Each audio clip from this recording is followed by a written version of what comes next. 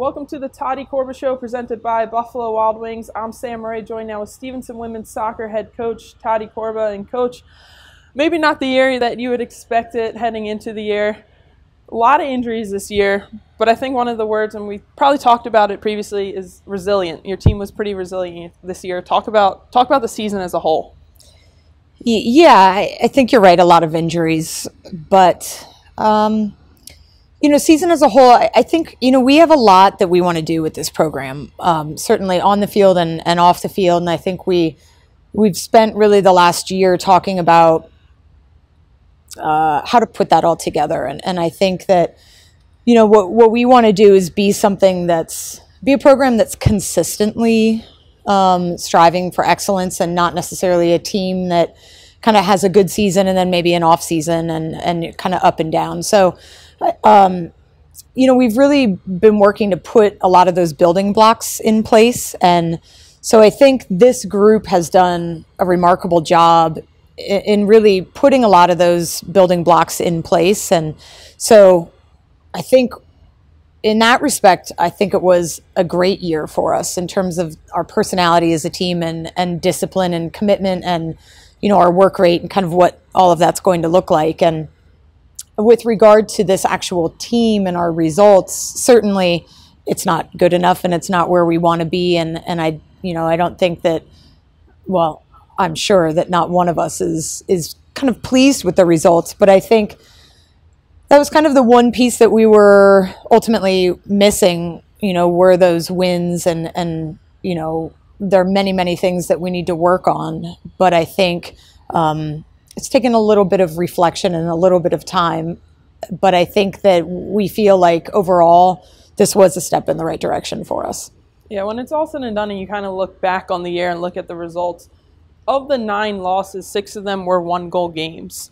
So you're you're close in pretty much every game this year. Is that something to to hold your head high on?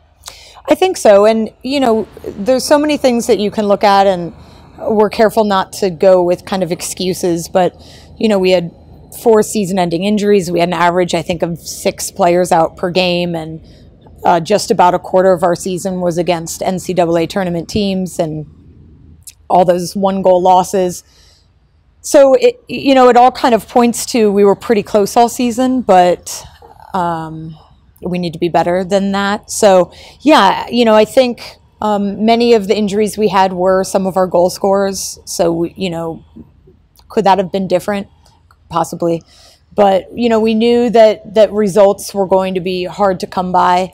Uh, soccer is a sport that you have to have a, a bounce go your way every now and again. And I don't think we had one bounce go our way this entire season. So, um, yeah, I think, again, a tremendous amount to build on. And, and I think uh, we're losing two seniors and two exceptional seniors and two exceptional people. But we have a really strong group returning and, and they've got a lot to work on and, and I think they're committed to doing it.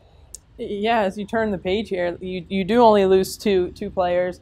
Now, granted, you, you lose Sam Hooker, who's you know a leader on and off the field, has started every single game since she stepped on Stevenson's campus. But you return everyone essentially. Is that something to, to, to build upon?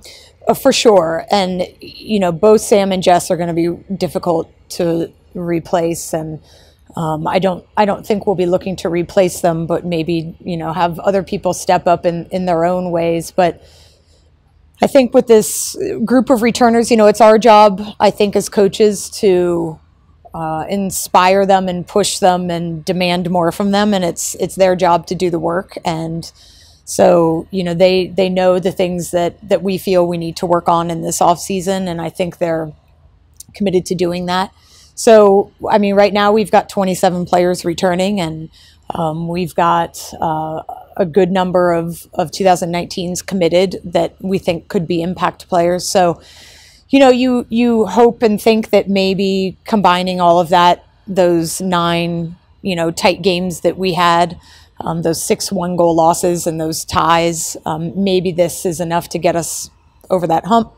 Um, but you know all we can do for now those are the the results that we can't control so you know the, what we have to do now i think is just continue to work on you know the things that we need to improve and we have to be better than we were this year so now's the time to to really do that. Well, Coach, we wish you the best of luck in the off season, spring ball coming up, and uh, we'll see you back here next year. Good. Thank you. For head coach Tati Korba, I'm Sam Murray, and this has been the Tati Korba Show.